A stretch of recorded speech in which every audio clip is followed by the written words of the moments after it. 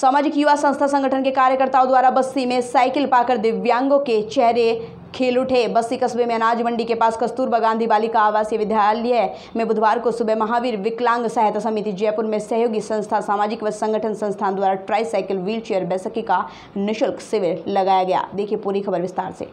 जिसे पाकर इनके चेहरे खिले रहे। यह कार्यक्रम रामदयाल सेन के नेतृत्व में किया गया है। कार्यक्रम में मुख्य ब्लॉक शिक्षा अधिकारी दामोदर प्रसाद तिवारी, अतिरिक्त मुख्य ब्लॉक शिक्षा अधिकारी श्री राम बयाड़वाल, प्रारंभिक पंचायत अधिकारी डॉक्टर अनिल पारिक आर के कैलाश चौधरी, महावीर विकलांग समिति के राजेंद्र शर्मा, राम राय शर्मा, संस्थान अध्यक्ष हेमंत मीणा, उपाध्यक्ष जितेंद्र खोलिया, कालूराम मीणा, अन्य समाजसेवी कार्यकर्ता उपस्थित है। इस दौरान दिव्यांग व्यक्तियों के चेहरे खिले हैं।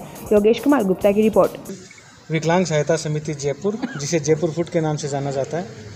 उसके द्वारा नोमुरा के सीएसआर के वित्तीय सहयोग से और बस्सी के स्थानीय सामाजिक युवा संगठन संस्थान के रामदयाल जी सैन के द्वारा, इनके द्वारा संयुक्त रूप से इनके तत्वावधान में ये अपना जो पैमाइशी है कस्तूरबा गांधी आवासीय विद्यालय इसमें ज़रूरतमंद जो विशेष योग्य जन थे, उनके लिए ट्राई साइकिल वितरण का कार्यक्रम रखा गया था, जिसमें कुल 48 ट्राई साइकिल बांटी गई हैं।